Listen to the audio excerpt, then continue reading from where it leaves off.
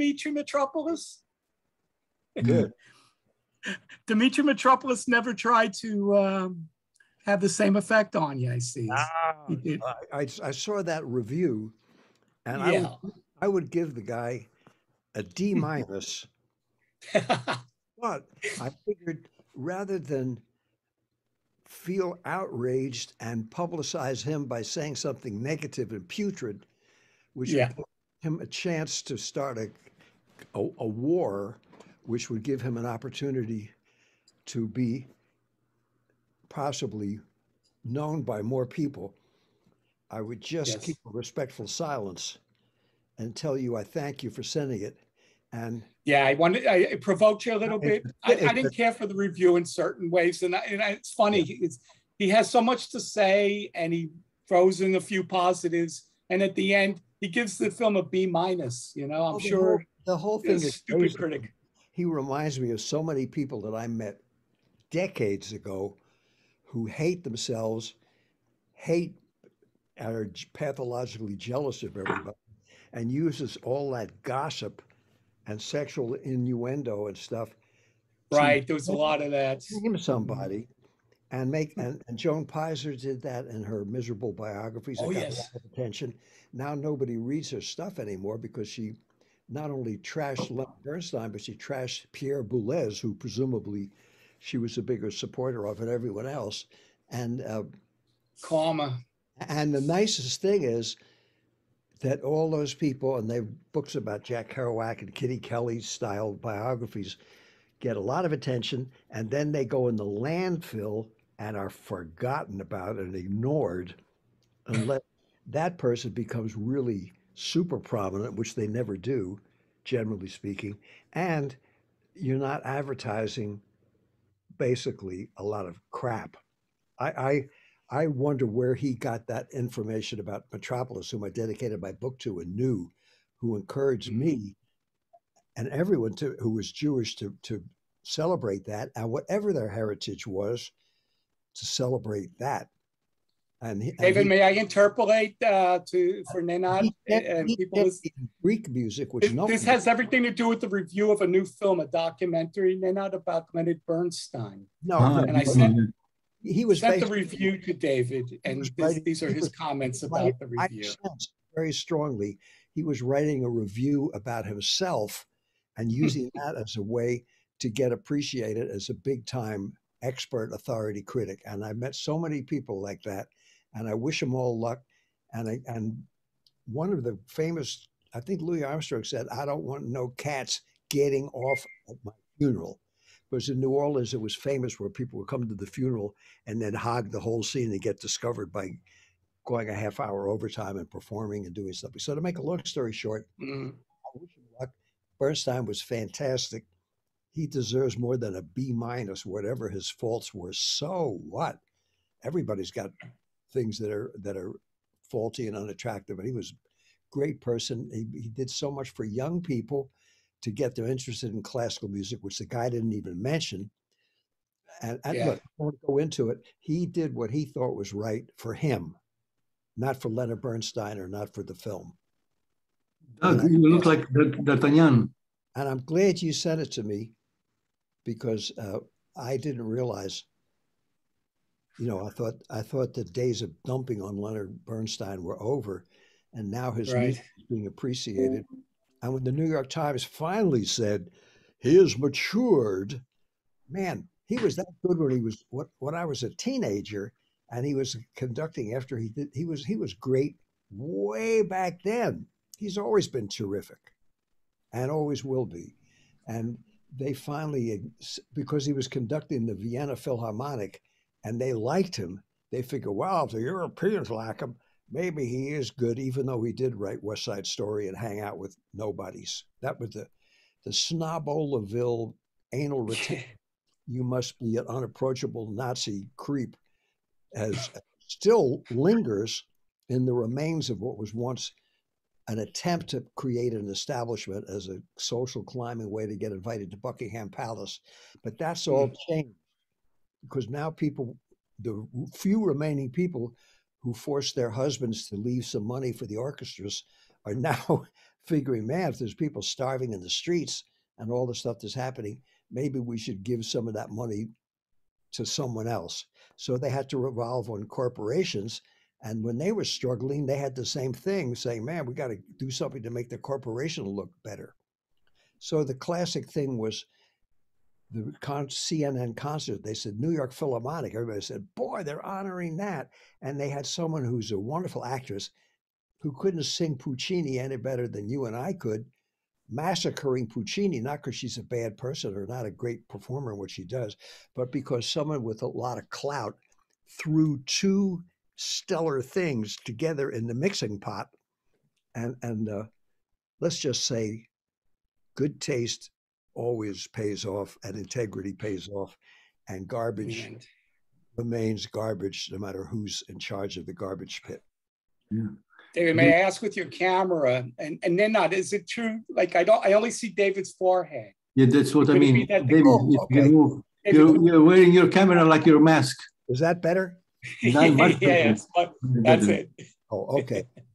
it's about content. I hope this, was, this wasn't part of the program because I didn't mean to be trashing anybody publicly. You know, yeah. that's not my scene. Our scene, I think, is to accept the beauty part celebrate all those gifted, wonderful people, some of whom are world famous, many of whom, the predominant number of whom are totally unknown, but all of whom are contributing to the world and the planet and will continue to do so no matter who's in charge and no matter what's happening. And there are always going to be people who are going to be negative and tear down, tear down the idols and sometimes the false idols don't need any tearing down, they tear themselves down. So I would only say I was the first composer in residence with Bernstein. I never leaned on the family whom I love and respect for anything or for him after I was done my tenure, but I always admired him before I ever dreamed I'd be working with him. And a lot of other people did too. But without him, all of us would be working a day job he and Van Cliburn were the two celebrated people in the 20th century when Van Cliburn played that one piece and miraculously won and had a ticker tape parade down Broadway. People said, well, even though he plays that classical stuff, let's book him because he's a star. And Leonard Bernstein was a star, but he also was a great musician. And I knew him and with all the stuff he had to deal with every day, including worldwide celebrity and fame and everything that goes with that. He never forgot about the music and he cared about the music. And God bless him for that. And we need more people. He told me, he said, remember, your job as the composer and the first composer in residence with the New York Philharmonic is to contribute not just to please yourself, but to contribute something to the repertoire. Mm-hmm a staggering thought in 1966 67 when you were supposed to set the piano on fire and, and then dump it on the sidewalk, hoping it might not kill anybody in order to get more space in the New York Times when the third string reviewer would come around by doing something so disgusting that you got attention. And the drop your drawers mentality infested everything, including the classical music world. And Bernstein was hip enough musically, spiritually, organically to be distinguished between what was saying something and what was a way to out ugly the opposition. And he got criticized for that and survived. And as, as far as being a composer, people said, well, anybody that writes West Side Story must really suck. And as fortunately, when I was told whatever you do the first year you're at the Philharmonic, never mention to him West Side Story. About mm 15 years later, I'm not sure of the exact date, the wonderful PBS show showing him preparing the television broadcast that he conducted with opera singers who could hit the notes that he wrote and a killer orchestra that could play from the paper all the swinging music he had and the Latin music and have a sense of what that was about. They weren't improvising, they were reading off the paper, but they knew that language and were able to do that. And they had a huge reception. I hadn't seen him in a while. He said, Oh, David, how are you? Then he said, Did you see the show? And I said, Oh my God, maybe he's talking about West Side Story, which I'd never mentioned. and I said, Which one, Lenny? And he said, You know, the West Side. I said, Oh, yes, it was fantastic. Because then I saw, and he said, You know, I was wrong. It was marvelous. With that big Lawrence, he actually wasn't from Boston, but he had to say he was because Lawrence was considered a funky town. Another thing he told me was he said, David, I know you're a good friend of Jack Kerouac's, and he was a marvelous football player. But just remember that famous touchdown that he scored where he beat us way back in the late 30s was certainly a great athletic skill on his part, represented great athletic skill. But Lawrence had a better team. And I said, man, who would believe all those years later that a guy that fought his way out of Lawrence and had to say he was from Boston in order to be almost accepted would would still remember that he dug his hometown's football team. And he didn't say that to me to be published in the front page of the New York Times or a book I was writing. He just mentioned that in conversation. And he really cared about people and about music and about everybody appreciating all things of beauty, including the classical music, and not saying that you had to wear a funny hat and uh, join a cult or get a guru with a limo or a dope dealer in order to be cultivated or have pleasure. He just felt what was beautiful was beautiful and stayed beautiful. And he was so musical. Everything that he did when he played the piano, I remember, God, it was like incredible. I said, Good Lord, Lenny, you playing that Mozart concerto. God, is that ever beautiful? You can play your ass, oh, pardon me, you can play your can off. In the, in the, and he said, Oh, it's dreadful. I haven't practiced in 20 years. He was a vicious critic of himself and no one else. And that's why he was so good because he knew there was a higher level that none of us could get to, but he was trying to get there. And God bless him for that and for what he contributed to making classical music even exist. Wynton Marsalis has the same problem now. He's so surrounded by pathological jealousy that when people criticize him, I say, well, if you're pathologically jealous of the way he plays, I said, if I could play the horn as well as he can play his trumpet, and if I were able to compose music that the Philharmonic was dying to play, I'd be stuck up. So I think if you're jealous of Wynton, I recommend going home and practicing. and that usually ends the conversation. So you, would figure, and when I worked for the Lincoln Center Theater and they were downtown, all the all the theater people that weren't there all despised it automatically because it was getting so much attention and it was so good and it was so much fun and it was in Greenwich Village where everybody had a good time going there. And uh, I only say that because sometimes it's hard to distinguish between what's happening and what you're told is happening when the people who are covering it are embittered, frustrated people themselves and don't feel they can get anything out of it. Forgetting the fact that anybody who can get anything cultural out there is benefiting all of us, not only people who want to be artists, but parents and children and grandparents and people who would like to be able to see and be part of something beautiful. And that's why so many of us admire you, even though I'm in BMI, which is supposed to be a rival of ASCAP. Man, you've done more for friends of mine and me for appreciating and encouraging us and others to pay attention to what we're doing than most of the people that I know, including those who presumably are representing me.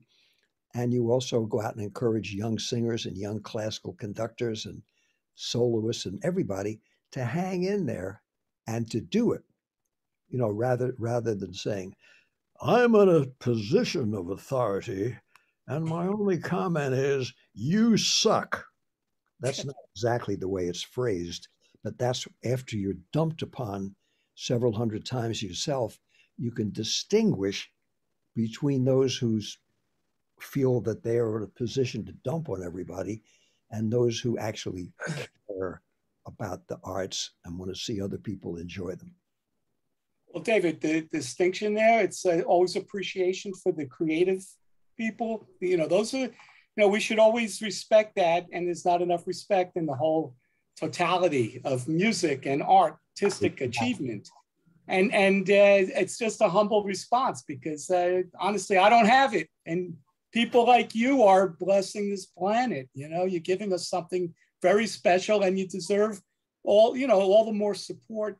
And I wish there could be you know ways to manipulate things your way even more and to you know Nenad is such Doug Yeager who's sitting there like we're the support team you should feel like you have good friends who really appreciate what you're doing and we're even making a little bit of a living about it so that's not a bad thing and if one person appreciates me i always tell kids now that i'm doing a little better i say if the band outnumbers the audience you're a big hit and when I met Nemeth the third week he came to New York, and I was playing at Brad or hanging out at Bradley's. I can't remember if I was playing there that night or not. I think I was playing.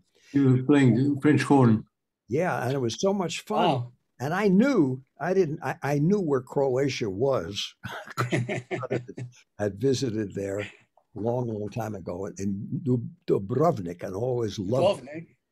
And and uh, and I knew a tiny, but basically but I just saw this guy and I just fell. I said, man, this cat, this is a hell of a person. And 36 years later, I still feel that way. And, and with all the great stuff you've done, Nemeth, you never got that. I am a star and you are nobody.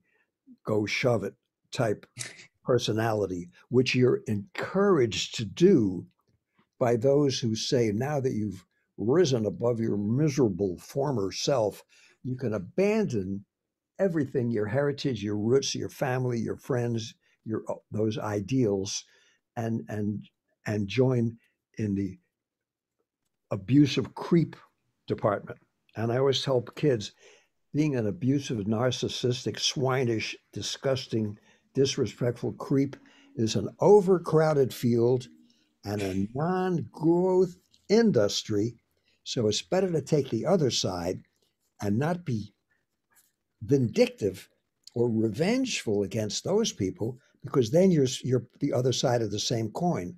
But just to figure, well, Miles Davis said it perfectly when he called that song "So What." It's there, is there, always will be there. But you leave that to the experts, and there are plenty of experts in that department. So all of us just can take our lunch pails behind Beethoven, Mozart, Chaucer, Charlie Parker, and Rembrandt and do the best we can and hope for the best. And I wish Dr. Nemeth, excuse me, Dr. Nenad, that's the way I used to mispronounce, Dr. Nidhi was here because she's, she's here. She's here. Here she is. I see her. Great. Hello. Hi, David. Hi, and thank you for coming on because I was hoping you could get a chance to say something about your field of medicine and what oh, you yeah. hope to contribute especially to the young people who want to be doctors, lawyers, and that kind of thing, to realize that you can do something and survive for, but also think of how you can make a contribution while you're here. So I yeah. give the floor and I will stop my torrent of hot air. the audience gets asphyxiated and listen to you. Well, thank you, David. I'm, it's an honor to be even be a part of this. I'm really happy to learn from you. Um, I love learning from every interaction I have with everyone, and especially um, from all of you have so much wisdom to share. Um, in my field, um, I hope to contribute um, a lot to humanity in terms of I want to transform medicine into something more holistic. I wanted to be less about just you know writing prescriptions and more about really showing people we care. And a lot of times when patients come in, they just they want to be heard. They want a little bit of caring. Um, you know, nowadays with technology, it's technically so easy for all of us to connect, but for some reason, people are feeling more lonely than ever. So, um, reaching out to everyone and making sure we're, you know, being heard and feeling connected is really important nowadays. So um, like a lot of what we suffer from, it just arises from within the mind. So that's why I think mental health needs to be transformed and wow. uh, emphasized, and there needs to be like better technology to help address those issues. So yeah, I want to help do something new and innovative. I want to add some creativity, use some tech, maybe some AI um, in a positive way that can help bring people together and start healing from within. Hmm. Wow. That's beautiful. If I could just interject for a second, but please don't go away. I hope anybody viewing this, besides the four of us, will listen and pay attention to what Dr. Nidhi said because we're trained, those of us who think maybe I'll go into the fine arts, that everybody else in every other field is the enemy because they've got they might have a real job someday. And actually, everybody is faced with the same problem. And when I was asked by my father, being brought up on a farm during the Depression, he said, David, what do you want to do when you grow up? He was hoping, he became a law teacher, although he was a full time farmer in his early life and continued being a farmer. He never slept, which is a good role model. But I was out there in my tractor. I said, Daddy, I want to be a farmer like you were, like you still are. And he said, No, it's hopeless. He said, Small, small family farms. This was in the 1939. A 160 acre farm was already in peril, which he was able to see. He said, What else? And I said, Well, I like to be a jazz musician and a classical composer. And he said, That's worse.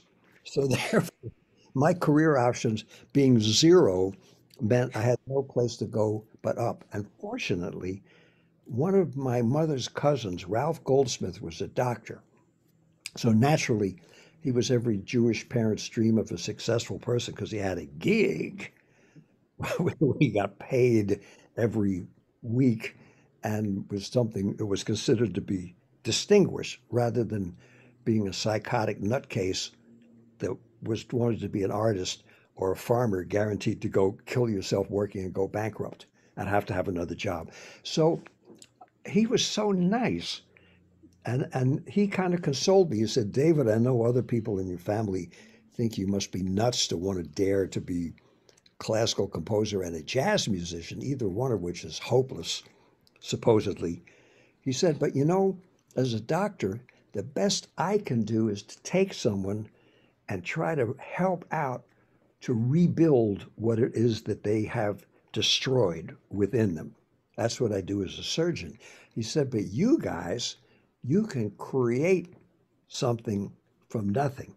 And that's a very beautiful thing. And he was the person, first person that ever told me it was okay to dare to dream. So the point I would make is all of listeners who dream of doing something, try and hang out with some doctors and lawyers and chefs who know how to really cook, and carpenters who really know how to do a good job, and plumbers and scientists, and anybody who does a good job, starts from the beginning, goes to the end, and cares about what they're doing and cares about what their people that they're working for and does not accept the American dream of P.T. Barnum, there's a sucker born every minute, or the new age thing of it doesn't make any difference. You can just be famous for five minutes. That's all Philistine shortcut, worthless non goals. And of course, it's easy to accept those, those uh, little cliches as being an excuse for not caring about anything, including yourself and your family and your work and the rest of the world. And conversely, not to become a, I am a do gooder by helping out the disadvantaged subhumans, because that's what they call slumming. And that ain't cool either. It's just to try to get back to the basic nitty gritty. And you, you're one of the first scientists I've met in a long time who actually has thought about that before they are accepted as being being a top dog and then saying, okay, you can name the hospital wing after me, but then go ahead and I'll have to join the full greed ahead contingent because that's considered to be who's the most valuable. So that's my little thank you to you for for coming on, for helping this to get organized, and and making us all feel enlightened. Well, of course, that enlightenment. I think, uh, I honestly I feel with every interaction with with someone, even if they're very young or very old or where somewhere in between, I feel like there is something I always learn from every every interaction, um, however small, either reinforcing a lesson I've learned before or or just something new. And I think it's really important what you mentioned about value, because um, how I see it is, I think um, it's really great for people to follow their passions. Um, actually, my first love was the arts, so uh, I actually was really into writing stories and and into art and music as a child, actually. And I got kind of, I already liked, um, you know, humanitarian stuff as when I was six, seven years old, I was thinking of ways to set up orphanages, um, which is not very a common dream of a six year old. And so I always knew I was going to be in a field where I'd interact with people and just try to share love and um, care for them. And I feel like uh, whatever someone does, if they do it well, they can feel really good. Um, whatever it is, it doesn't have to be like what, you know, for example, with um, Indian families, they measure success as, oh, are you a, a lawyer? Are you a doctor? But for me, I see success as people doing what they feel uh, their heart is pulling them towards and doing their best in that. And I think that's what success is. And I think it's what really value is, is um, when we follow our, our heart and just don't listen to people who are trying to limit you and just expand beyond. So great. Mm-hmm. For, for the listeners who who also, like Dr. Nidhi, are planning on entering that field, Borodin, one of the great 19th century composers, has a textbook today. It's chemist. 150 years ago, I guess it was that he wrote that. I'm not positive of the exact date.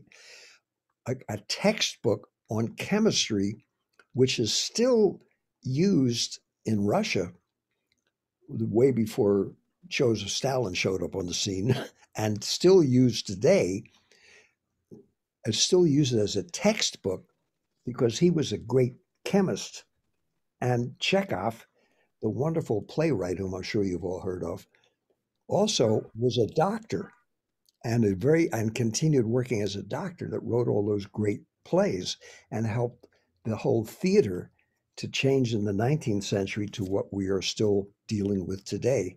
They were both doctors, and and I've worked with as many musicians have with doctors orchestras and doctors jazz ensembles and symphony orchestras of doctor they're called doctors orchestras and they're terrific and a lot of dentists that I know are really good sculptors because they can deal with that amazing precision like Jascha Heifetz playing the violin, you can't play, get away with playing a clinker. And when you're doing doing some tiny thing with someone's tooth, you can't say, "Oh, I'm terribly sorry, I pulled out the wrong," or the or this, I was putting a filling in incorrectly. You know, that's precise, and and there's so many interesting things. And Nemeth, I know you're you you don't call yourself a doctor, but you found out with the Parkinson's Foundation, which I never knew about. So you I read about it and then you told me it was true how you're able to to ping pong and use that as a healing helpful way for people who have Parkinson's to, not only to play a great international sport but to use that in a medicinal healing way in addition to all the work that you've done in, in music and helping to save the world and what you've done to bring liberty back to Croatia someday. So maybe you could say something about Nemeth since it's, it's your show, and you never. I requested if you could say something on the program. You have a constitutional right as an American citizen, and also for Dr. Nidhi to say something. So if I could make a, a request, could you say something about that? Sure. I'm I'm looking for my medal that I received two days I, I, got the silver medal in, in mixed doubles in the in the German Open ping pong Parkinson. But anyway, congratulations! And you're in Berlin right now.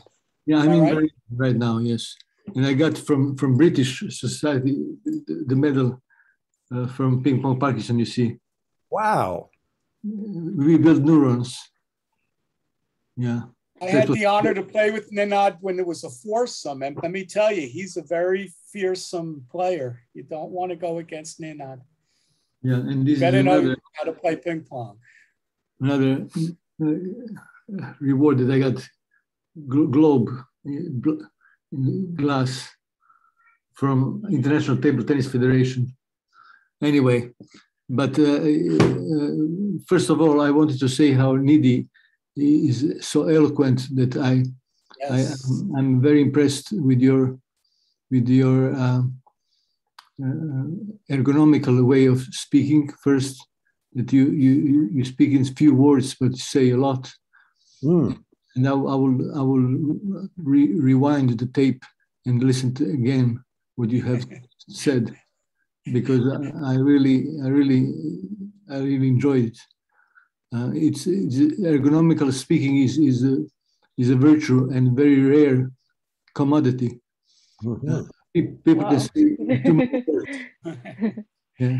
Well, thank you so much, Nenad. you're, you're so kind. I just uh, I like to put a lot of heart into everything. So um, I practice a lot of mindful meditation, and I practice a lot in uh, being very meaningful with every moment and, and thought because i think thoughts translate into our actions whether they're subconscious and later conscious so i just i just speak from the heart. So doug what do you have to say about that? Well i i was thinking as dr Nidhi was speaking uh, the, there's been a lot of conversation this past year, especially since the Olympics, where the two wonderful young women, you know, came out and, and said that they, they could not be part of press conferences because it caused them too much stress and they couldn't perform. One as a, a gymnast and, and one as a golfer or tennis player, excuse me. And um, people don't think enough, uh, as Dr. Nidhi was saying, about mental health.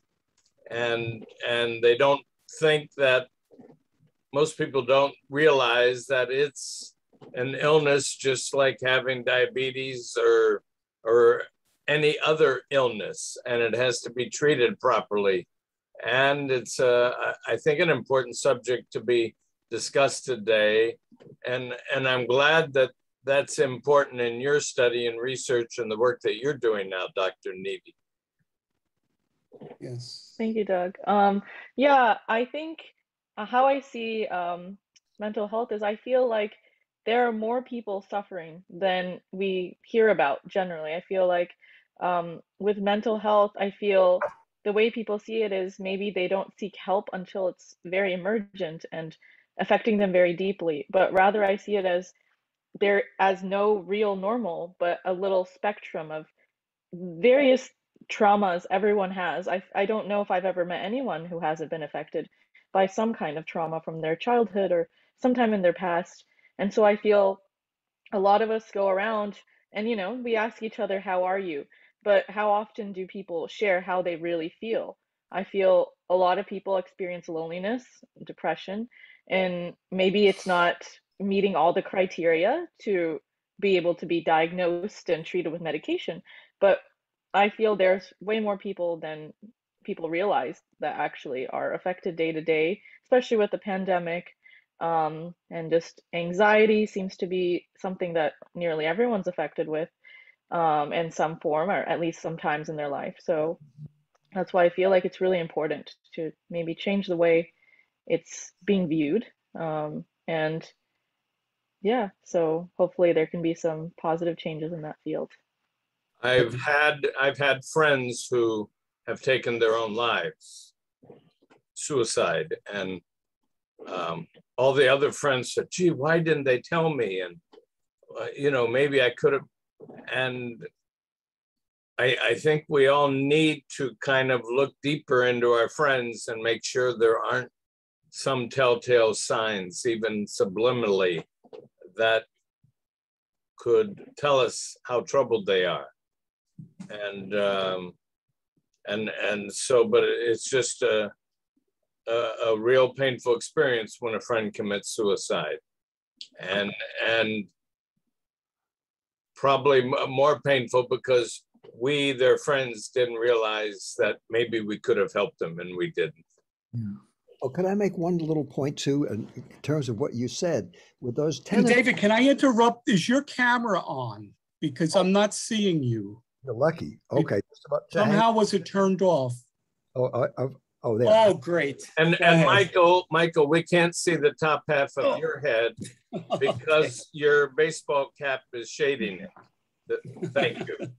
Okay, if I could mention those tennis players that you referred to, one of the terrific things that came out was the fact that those young women are treated like dogs, except not as well. Otherwise, the SPCA would come out and close it down because people are concerned about how we treat animals.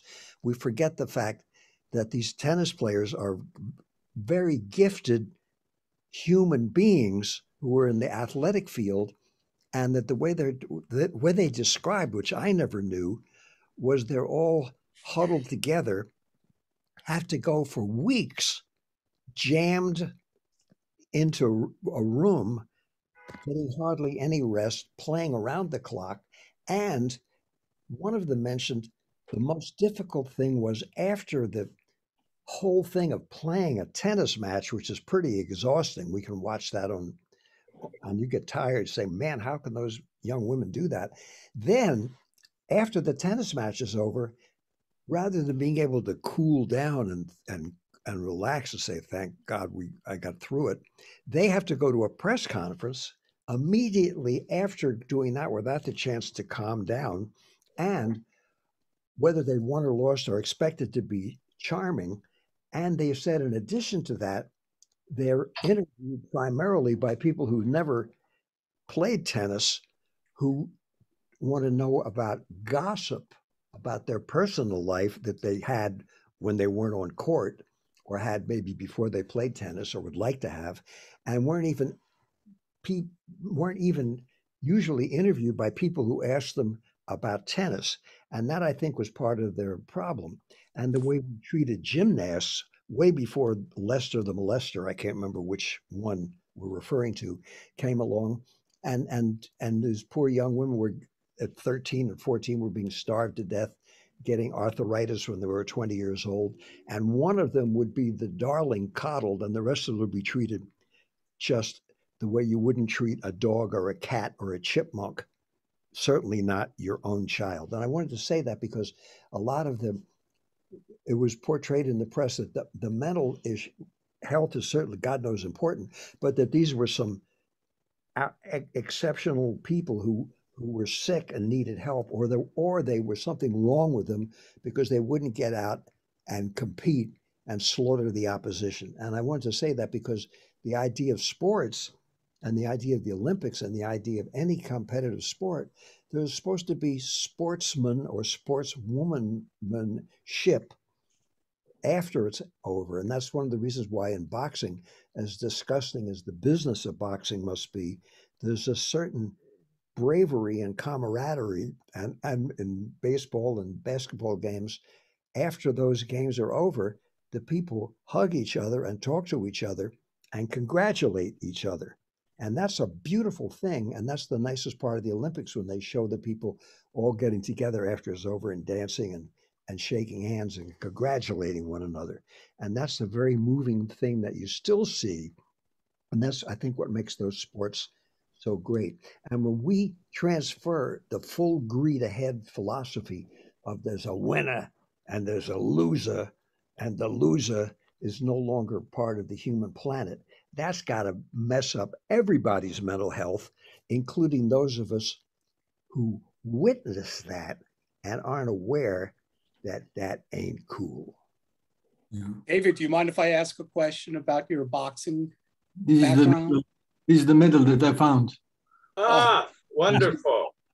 Beautiful. People Parkinson. We, we hug each other after the, the defeat or victory. Doesn't matter. right. We're not attached to the outcome.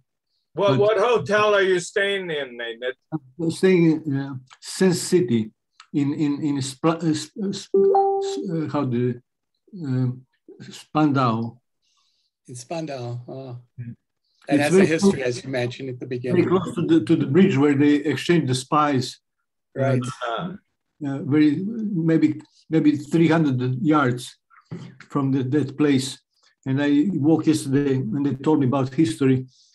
You know, it's it's uh, difficult to imagine that 40 years ago, it was a, a war between West and East, and 80 years ago, Hitler walked these streets. So, and today, you can walk freely, like 3 a.m., and, and nothing will happen to you. So I guess we progressed at least a little bit. I, I love Berlin and I know exactly where you're staying. And the Spandau prison where Albert Speer Right. and others uh, spent most of their life. Uh, it, it is uh, remarkable how that city has transformed. But uh, Yeah. Michael wanted to ask David about his boxing years. Yeah, um, it's just, uh, I think, a fascination maybe for anyone out there who wonders that David Amram actually has a background. I, and, and what that background is, David, if you could tell us a little bit about what intrigued you about boxing and what is it like the most altruistic guy on the planet that I know has a killer instinct in him? Like, I mean, how could you not if you're a boxer and how do you deal with that and why? What is it about boxing that intrigues you? Basically as self-protection. When i was a little boy on the farm in feasterville pennsylvania i went to the public school in nearby southampton.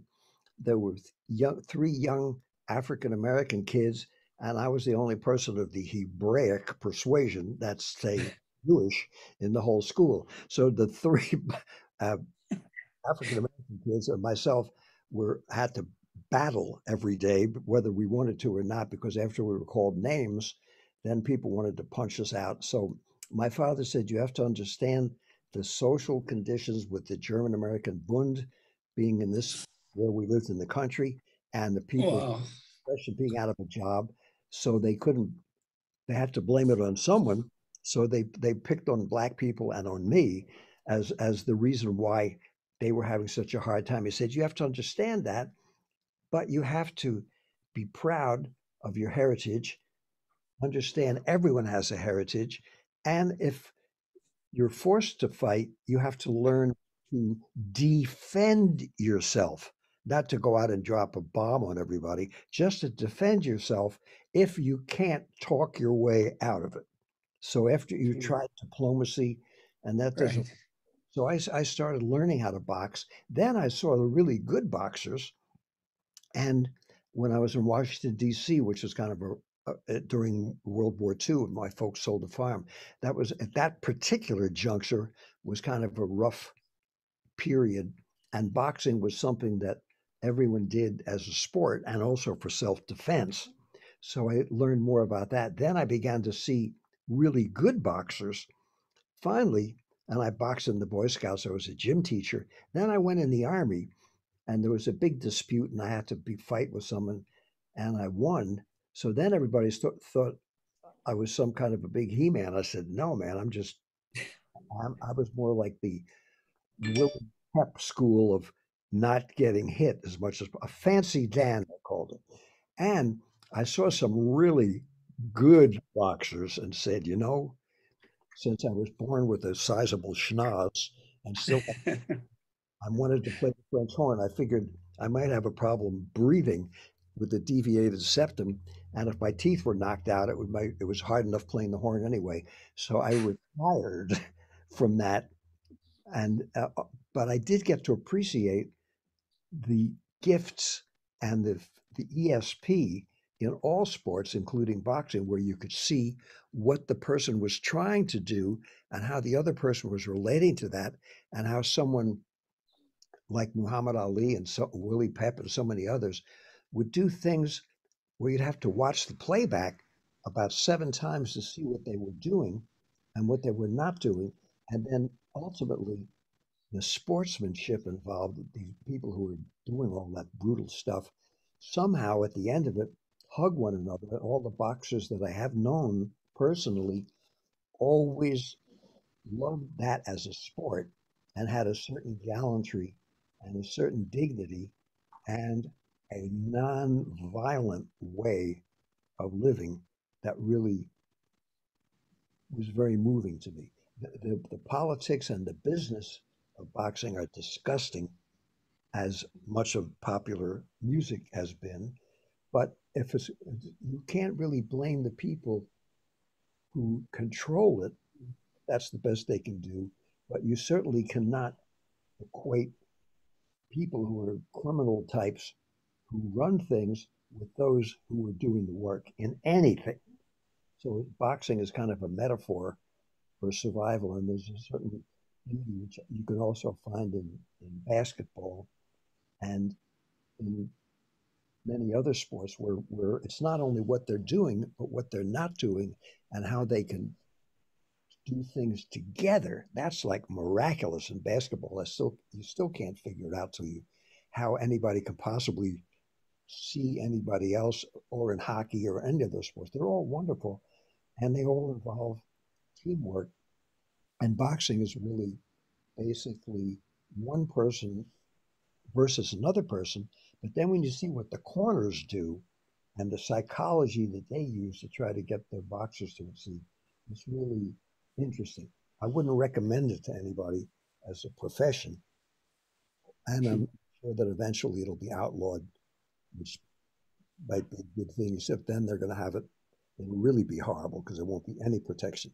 And now, fortunately, they're beginning to finally have some addressing the neurological effects of boxing and the neurological effects of professional football. People in the 40s, 50s, and 60s have more than Parkinson's. They're just completely annihilated because their the brain has been bashed around too much. Mm-hmm. Again, if well, you can, you. if you can check uh, uh, on the under chat, there is a, the screenshot. If you can open it, click that in the chat. There is a screenshot. If you can click and open that, please, and tell me what you see. Uh, oh. Okay, I have participants chat share screen. Yeah, no, no, yeah, yeah. Just click on the screenshot in, in, in, in chat. Chat, okay. You see screenshot? No, no it, it, wants us to download at that point. Do we just click, click, to, click to open? Click to open. Is that the green arrow that says share screen? Yes. No, no, no, no, no, no. Chat. Chat. Oh, I'm, I'm sorry. Go to the chat below. And then you see, see screenshot. But but uh, as uh, Spudik said, it uh, wants you to download it. Just, it just, says click to download, Nenad. So click to download, please. Oh. And if one does that, we have to save it. okay, so I'll save it in my video. See, see what happens this is what I found a few days ago in my old house. Believe it or not. I wanted to ask Dr. Nidhi, do you have any experience with people who who've been playing football? She, she, she, had to she had to take a phone call. She's on call. Oh. So she apologized uh, me with text. Uh, she will come come back when when the uh, when the phone call ends. Great. That was but, a truly fascinating discussion. But, but, but, open the screenshot, please. Yeah, I, I, am not having success. Me neither. And I'm also losing. Uh, the only person I see now is Nenad, and everyone else oh. is gone. Um, you, oh, there you are, Doug. It, it, is, uh, it is the book, Vibrations the Adventures and Musical Times of David Amram. okay. Is that what it is? Yeah. I found it on, on, in my, David in knows my, it well. My library. Oh, thank you. David, can you open it? Me? Yeah. I don't see it either. I have a, You- a shelf. you- I've read it all. Thank you for doing that. I should mention too, all three of my books now at 2021 are reissued for God knows how many times by Routledge Taylor, uh, Routledge Taylor Francis, a huge English publisher that doesn't put them on hold. So for all of you young writers who can't get a publisher, Sterling Lord, who was Jack Kerouac's agent, said, David, congratulations. You just beat Jack's record. This was about 20 years ago. I said, What do you mean? He said, You got 26 rejections for On the Road. You got your 27th rejection. And fortunately, a wonderful young man named Dean, Dean Birkenkamp. Dean Birkenkamp told me he loved everything I'd done and wanted to publish all my stuff. And my first instinct was, wait a minute. If the guy thinks I'm any good, he must not be any good because the other 26 Uh-oh. said, forget about it. Then I only mention that because all you need is one yes. And for all the people who know, that's they have a constitutional right to do that too. But just look for that one yes. So if you hit a bump in the road, don't get discouraged. Or even if you're discouraged, don't quit. And if you do quit, make a comeback. I make about nine comebacks a week on everything.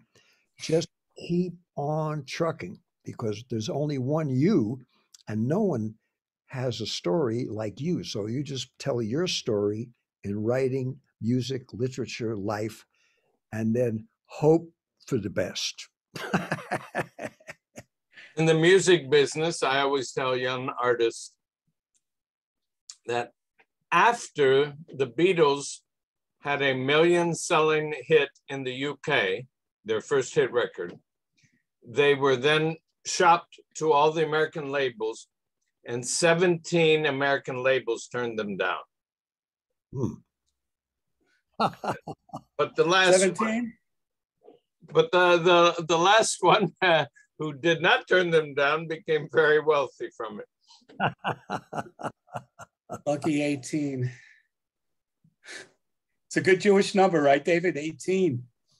well, the nice thing is that that didn't stop the Beatles from what they were doing. And the extraordinary thing, Doug, that's a good story, man, which I never heard. But they, they continued not to do I want to hold your hand, but to go into their own amazing stuff. And now, 50 years later, we can listen to that and it still sounds good because it was good music and it was something they wanted to do. And they had a lot of help and did it very successfully and had great recordings. But those songs, kind of amazing, the structure and the way they was put together, their stuff still sounds good. And I dare say, like the great pe- writers of the Hoagy Carmichael and all the other people that we love and admire, George Gershwin and Ira Gershwin and so Cole Porter, and so many other people. Uh, some some of uh, Scott Joplin's music, like his Treemonisha, which was shown for the first time, staged 60 years after he died. That stuff still sounds good, just like Bach and Beethoven and the Lascaux cave paintings of 25,000 years ago. And people pay money to go to southern France and pay money to go inside that cave and see what those guys did. And to the best of my knowledge, no one has asked for a refund because what they did was from the heart and built to last. And that's something that all of us can be glad is there. There are standards. And with the magic of the internet, it's possible for stuff to sneak through the trapdoor and be available to give viewers of any age, any persuasion, a choice to see that there is stuff that's not destined for the landfill. And there are things of beauty in dance, music, philosophy, medicine, sports that are worthwhile and worthy to study and worthy to enjoy. And mentioning Germany, Doug and I are both invited to Karlsruhe, Germany, ZKM. I'm supposed to be introducing Splendor in the Grass, which I composed the score for in German, auf Deutsch. But from that, Yeah. the Doug's genius and a lot of patience, they found an old, out of print, out of nothing, damaged recording done off the air of American Armed Forces Network Radio, which has been restored. Armed, they don't even have the Armed Forces Radio doesn't have it in their archive apparently, but someone got this old.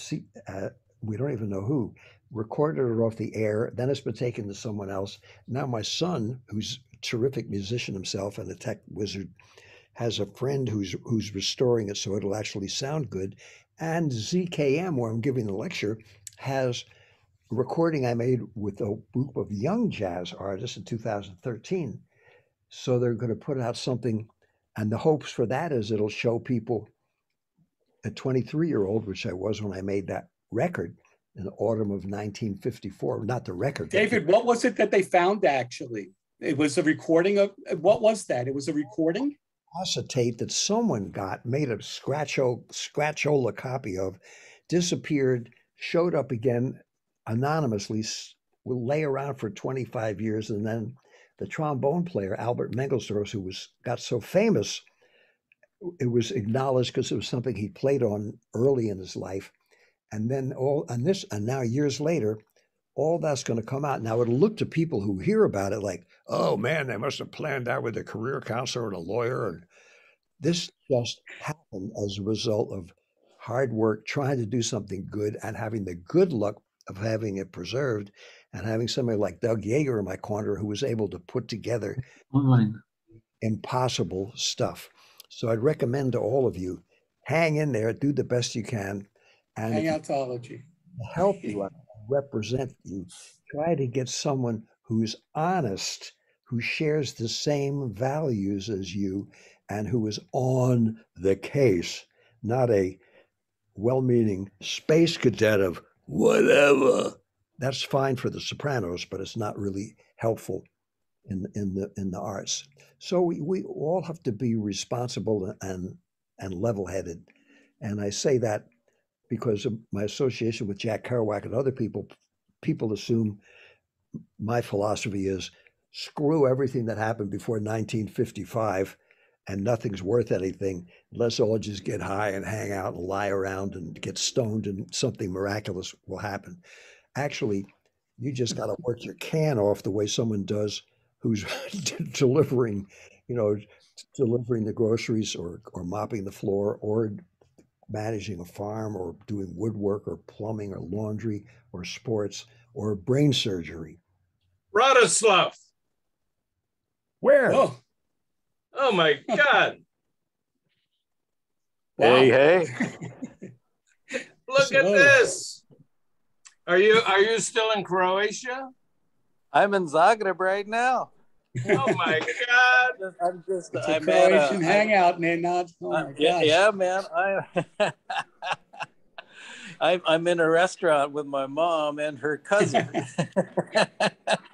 and I busted away, you know, because they're just chatting away, getting caught up in all the good gossip. been, been looking at your photos on Facebook. You, how long have you been there now? Oh, geez, about five weeks. It's wow. been it's been awesome. Yeah, it's been awesome. And how long? Uh, how lo- much longer will you stay? I think another three. You know, we're we're, we're out. The cruise is going to head out in a in a couple three day couple days. We're heading out. That's about eight nine days, and then I got another week after that. Wow. So yeah. yeah. David, Doug, you two have to go on a Croatian cruise on the Adriatic and do something. Come on. I, I would love to. I will be yeah. on Zagreb. I will be on 13th in Zagreb. That's uh, in a week, I guess, or less. In Zagreb, I will be on oh. the 13th. Oh wow! We're we're on the coast. God, that, yeah, we, we leave we leave the 11th. We leave the 11th. Um, I guess it's Saturday morning. We take off. We're taking the whole group to Plitvice, and then we start in Zadar, and then go down to Dubrovnik. Great. Nice. When are you yeah. Zagreb? When are you? When will you be back in Zagreb? Um, no, I, we're, I'm gonna fly out of Dubrovnik. Okay. So yeah, yeah, yeah. I, will be back in Hvar for a little bit, but just to Hvar and then back down. Mm. So, but I, I'll be back in Zagreb, but probably because there's family stuff I have to deal with here. So I'll probably be here maybe November, late October, something like that. So Like in US, we will miss each other. yeah, yeah, it's a shame, man. It'd be great to see. I remember the last time we we met under the the horse. That was great. Slav, can I say something about you? Because you'd be too modest. And, uh, For, uh, in case any viewers aren't familiar, Radislav, known as Rad, every festival he goes to, including Woody Fest for the last 15 years where we've been, everyone there has one mantra instead of saying namaste or, or, some, or om, they say, get rad. So he, they know if he's on the scene playing the uh, not the accordion, but it's like an accordion, or the piano, or singing, or doing anything, is going to be ten times better with him, and that's why people all over the world try to hire him to play with them. And also, he's a, a phenomenal singer songwriter himself, and written and sang as, as beautiful as anything I ever heard in my life. And in my own case, when we were jamming at some little crazy place, a woman heard us, T- Kathy T-shirt Woolsey, and she have to come down to Florida. We're doing our program and play two pianos oh. together. Had done oh, that. that was amazing. Well, we, we, That was the highlight. but we ended up doing that, and I had this Chinese horn, and I was supposed to write a piece for the Harvard Wind Ensemble, and I thought the second movement I wanted to use the the Wayfaring Stranger. So I wrote out some chord changes, which which it spent about two weeks, just so I figured maybe I could play with Rad. And we played it together. What he played just from those little sheet of the changes said, God Almighty, that could be a great classical piece. So the second movement of the symphony piece, the wind symphony piece, is because of what I played with Rad and decided he inspired me to actually make a classical piece. I only mention that because 30 years from now, when all the people are playing that, they're not going to know it was because of Radislav Lorkovic. I was able to use that in a piece and expand upon it. And I only say that to you because if you meet someone that you like and admire, hang out with them and you know the blessings that will come your way. And of course, Radislav also played with the great Odetta, who loved him. And when I heard them play in New York, they had a, a $13 piano in the little place on Avenue C. And, and she was being honored. That was the worst piano I've ever seen. And boy, he made it sound like a Steinway grand. And, and, he was there. and Doug, That was a great. Thing. Doug helped Odetta in the last 20 or 30 years to finally achieve again the prominence that she deserves as one of our great singers. And she loved Rad, and, and Odetta was not noted for throwing out the compliments. Let, let me just let, let me just relate a story. Uh, Rad was on tour with Odetta um, when she almost died, and the, the doctors thought she was going to check out. Um, they started in in uh, I think Vancouver or Seattle. Seattle, then came Yeah. south, and she caught a cold, and it kept getting worse and worse. And uh, they got to Mill Valley, and the theater was sold out, uh, but Odetta couldn't get out of bed to go over and do the show. And uh, Wavy Gravy and other friends who were at the concert, they came and they did a sit-in in uh, uh, Odetta's hotel room to force her to go to the hospital. And then there was a, a lady there who sympathized with what was going on and asked Rod if if he wanted to stay, that he could stay at her house. And whereas most musicians would have said, well, my gig is over, so I'm going to fly back to another gig, he stayed with Odetta until she got out of the hospital. And uh, most musicians wouldn't do that. And I have great admiration and appreciation and love for Radislav because of that. Oh man! And but, it was I, al- but I also fantastic- remember that the lady you stayed with, you reminded me she had a beautiful grand piano. she had a terrific piano, terrific place, and she had the cutest dog. And the dog and I was a little little thing was about twelve inches long. And the dog and I hiked up my, Mount Tam every day, which is like a three thousand foot mountain. Wow. 10 days, 10 trips up Mount Tam. It was awesome. Hey, I had to join a, a, Zoom meeting. Hey, meet, this is my mom, oh. everybody. Hello, hello, hello. This is, this is Hi, Nana. Mom. This is, Doug, this is Dave, Doug Yeager. Hello. He is Odetta's manager. Oh, hello. Yeah. Uh, that's Mrs. Yeager. Yeah, yeah, oh, yeah. no, that's me. That's okay. you.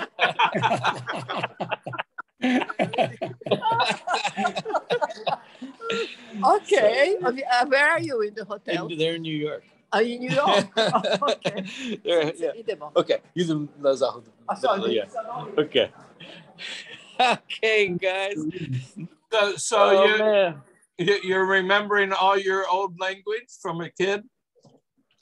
Oh my God. Oh yeah. Oh You're- yeah. You're, you're now a fluent Croatian speaker.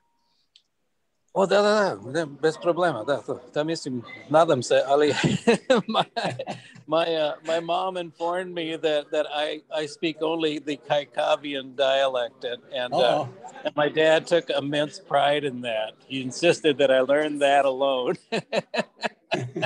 Wonderful. I had no idea. I thought I was speaking a normal language, but I guess I'm. It's kind of like I'm.